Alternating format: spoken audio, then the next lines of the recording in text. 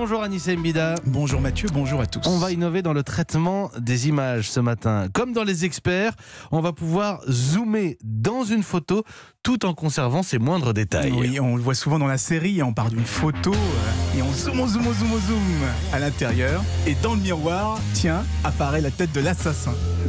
On zoome, on zoome, on zoome, on zoome et on arrive à lire parfaitement. Et c'est toujours net. C'est toujours- oui, voilà. toujours hyper net, c'est impressionnant. Essayez avec vos photos à la maison, là. Ouais, vous allez bah, voir, vous zoomez, vous zoomez, ça marche moins. Vous aurez un des gros pâtés de pixels, une image tellement floue qu'on reconnaît absolument rien.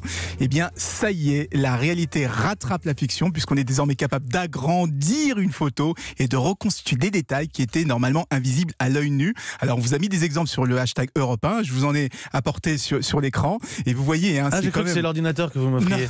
non, non, non, c'était des exemples. Juste des photos. Et vous voyez, on est, on est capable, regardez les images, hein, on est Incroyable. capable de transformer une, une image basse résolution un peu grossière Ah en oui, une là, il y a photo des ultra gros HD. pixels qui passent en, en photo euh, normale. Euh, c'est encore de la, de la recherche ou on peut, on peut le faire déjà avec ses propres images? Ah oui, oui, on peut le faire. hein. C'est disponible depuis hier soir sur le logiciel Pixelmator. hein. C'est le concurrent de Photoshop. Et ça sera très pratique, évidemment, pour jouer les experts à Miami.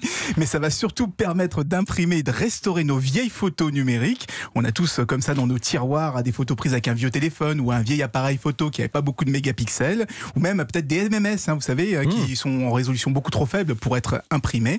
Et bien, avec cette technologie, on va enfin pouvoir les agrandir et obtenir quelque chose de joli. Et faire avec quelque chose de ces photos. Ouais. Faire quelque chose de ces photos un peu ratées, on peut le dire aussi parfois. Anis Mbida, merci beaucoup.